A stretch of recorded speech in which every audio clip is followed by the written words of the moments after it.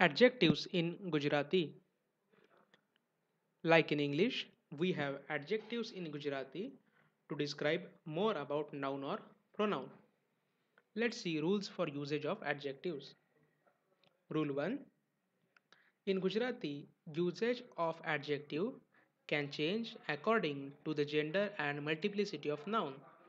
Generally, those masculine adjectives which end with vowel O change as per gender and multiplicity.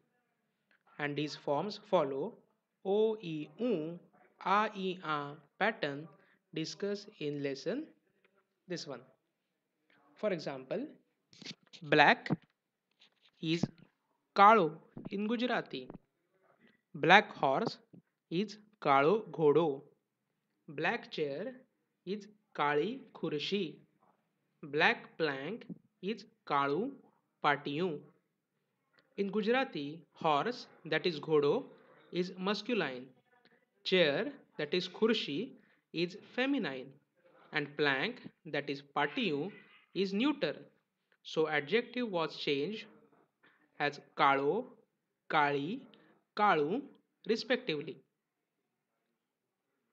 For plurals, we will use black horses, kala ghoda black chairs, kali khurashiyo, black planks, kala patiyan, black planks, kala patiyan.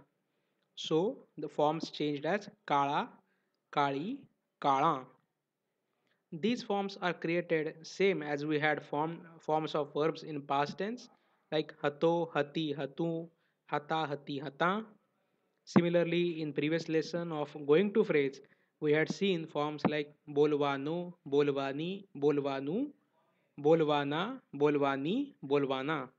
So there is nothing new in this concept. Second rule, other objectives, other sorry, other adjectives that is which do not end with uh, vowel o generally remain same in all genders. For example, red is lal in Gujarati. So red horse is Lal Ghodo, red chair is Lal Khurashi, red plank is Lal Patiyu. In Gujarati, as we have seen, horse that is Ghodo is masculine, chair that is Khurashi is feminine, and plank that is Patiyu is neuter. But the adjectives so the adjective was unchanged. In all the genders, we use lal lal lal. For plurals red horses lal ghoda red chairs lal khurashio red planks lal patiya so even in plurals adjective was unchanged.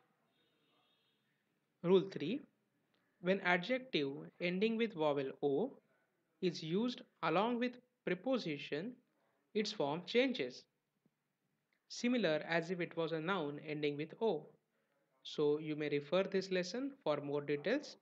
We will directly jump to examples. Good boy is Saro Chokro. With good boy, Sara Chokra Sathe. So when preposition with is used with noun, we change from Saro to Sara. Left pocket, Dabu Khisu in left pocket daba khisama when preposition in is used with noun we change from dabu to daba. Good girl sari chokri. With good girl sari chokri sathe. As per rules form of feminine word does not change so we used sari in both cases. Rule 4 other adjectives will remain same even with preposition. For example, beautiful picture, Sundar Chitra. About beautiful picture, Sundar Chitra Vishay.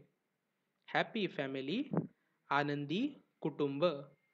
For happy family, Anandi Kutumba Mate. Rule 5 is about adjectives from verbs. They are discussed separately in this lesson. So please refer that lesson for adjectives from verb. Thank you.